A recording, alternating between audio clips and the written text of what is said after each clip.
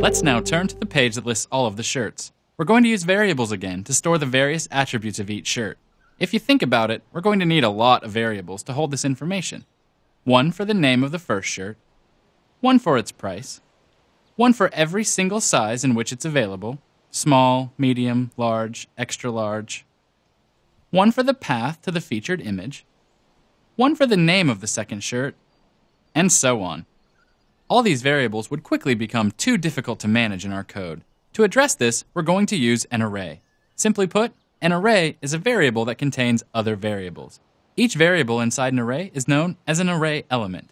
Each element has an index that can be used to reference it in our code. I like to think of a simple array as a single column spreadsheet. There's a column filled with values, each row representing one element. Each element has this identifier that can be used as a reference. Let me show you how to create an array of ice cream flavors in PHP. We'll start with a variable called flavors. We'll assign it a value that's an array instead of a simple piece of text.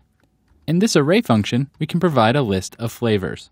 Each flavor goes in quotation marks, just like we did with text values for simple variables before, but we separate each value with a comma.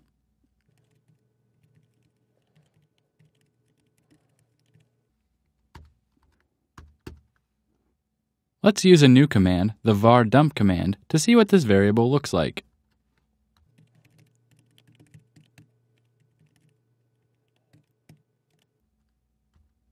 Let's also use pre-HTML tags so that we can see all the line breaks in the browser.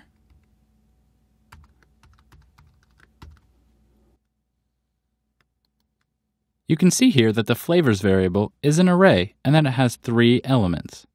When we create a variable this way, PHP will automatically assign an index to each element.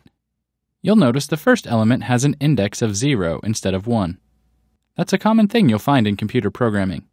I've even seen computer programming textbooks that start with chapter 0. To access the values in one of these elements, we add square brackets after the variable name for the array. Let's display the first element of the array here. Let's go ahead and display all three elements like this.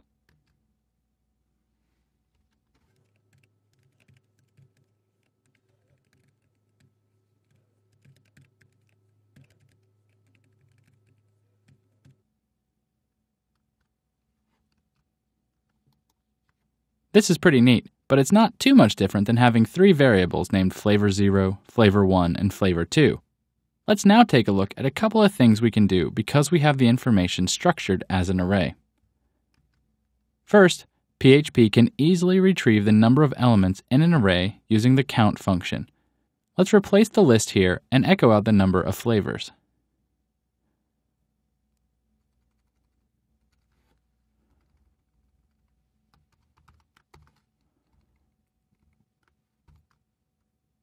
Let's put some text before and after that number using concatenation.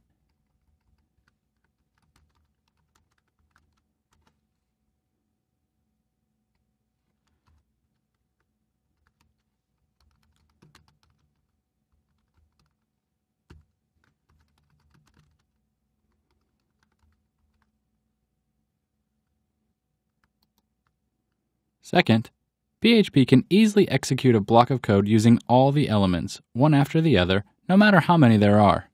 Let's do something like this to list all of the flavors here. The PHP command is for each. You first specify which array you want to loop through. As PHP goes through all the elements of the array one at a time here, it will load the current element into another working variable. You type as after the array name and then specify that working variable next. Something like flavor. You surround the block of code you want executed for each element in curly brackets, just like you would a conditional. Let's just display the value of each element here.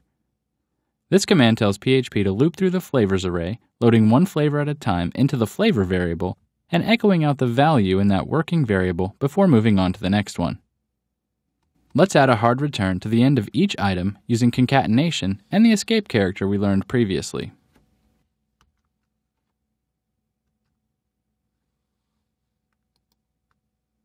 With this in place, we can easily add to our array without updating any of our other code. Let's add a fourth flavor, my personal favorite.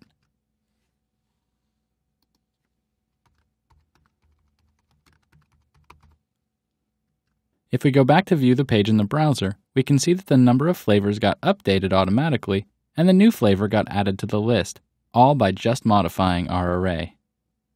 That covers the basics of simple arrays in PHP. I think you're ready for a code challenge.